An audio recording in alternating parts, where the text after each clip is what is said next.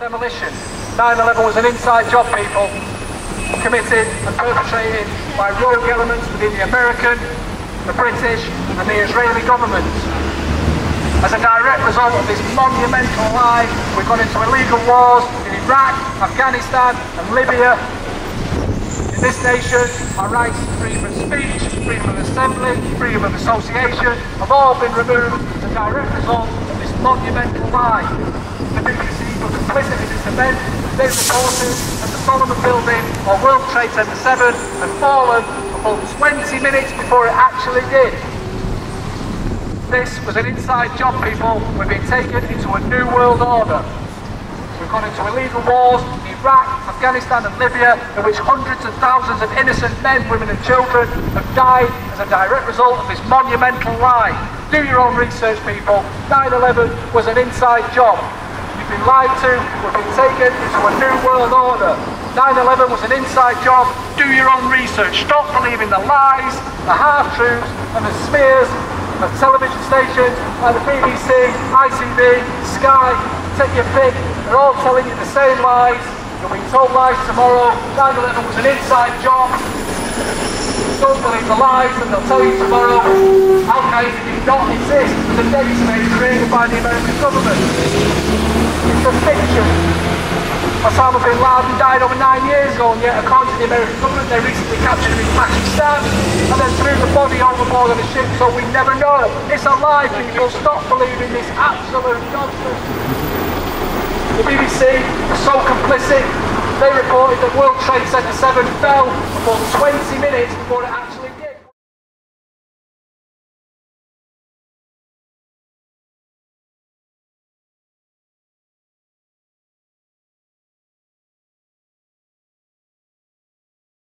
World Trade Center 7 wasn't even hit by a plane on the day, and yet it fell at free fall speed. Free fall speed means it was a controlled demolition. The buildings only fall at free fall speed if it's a controlled demolition. If it was a controlled demolition, that means it was an inside job.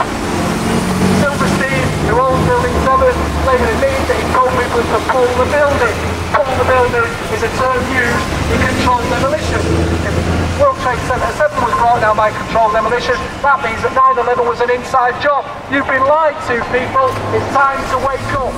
Don't believe the lies, people. In this nation, we become a police state. We have no rights to freedom of speech. We have no rights to freedom of assembly. We have no rights to freedom of association. This is all a direct result of this monumental lie that was 9-11. The BBC were complicit, people. It's time to do your own research. It's time to investigate. 9-11 was an inside job. Yeah. You're being enslaved, people. You're being taken into a new world order. Your rights are being taken away. Sovereign nations are being attacked by the new world order simply on the premise that they might be harbouring terrorists, terrorists that don't even exist. Al-Qaeda was an American database. It doesn't exist. Osama bin Laden died over nine years ago, yet we're supposed to believe he was recently captured in Pakistan and then his body thrown overboard on a ship, so we never get to see the body. This is laughable, people. Laughable. You're being lied to. This is monumental. 9-11 was an inside job. We've gone into illegal wars in Iraq, Afghanistan and Libya. Hundreds of thousands of innocent men, women and children have died because of pernicious rogue elements within the American, the British and Israeli governments.